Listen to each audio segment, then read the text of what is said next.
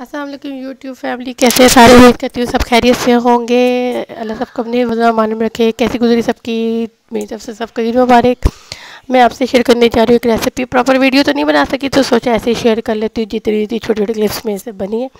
पहले क्रीम का एक डब्बा लिया है, पूरा जो छोटे वाला होता है उसको दो क्रीम व्हिपिंग क्रीम डाल के बीट कर लिया पहली लेयर मैंने उसकी लगाई है, फिर मैंने उसके ऊपर और बिस्कुट को मैश करके एक लेयर उसकी लगा दी है। फिर यही जो क्रीम बच गई थी, इसमें मैंने थोड़ा सा कैंडी बिस्किट मैश करके वो डाल के बीट करके वो मैंने इसकी एक लेयर लगाई है। फिर मैंने कप केक की एक लेयर लगा दी उसके ऊपर।